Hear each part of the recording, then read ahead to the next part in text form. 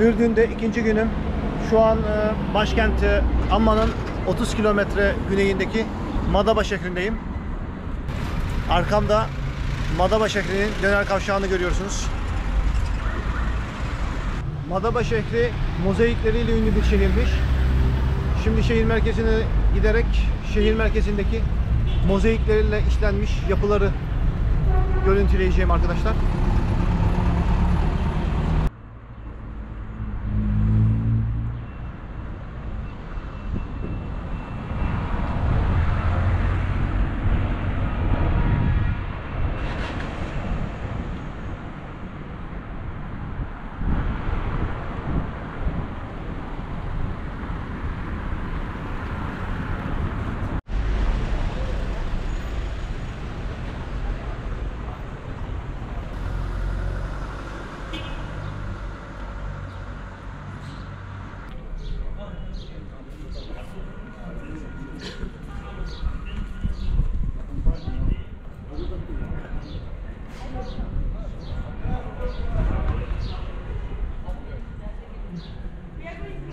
Madaba'da şimdi Yunan Ortodoks Kilisesi'ndeyim.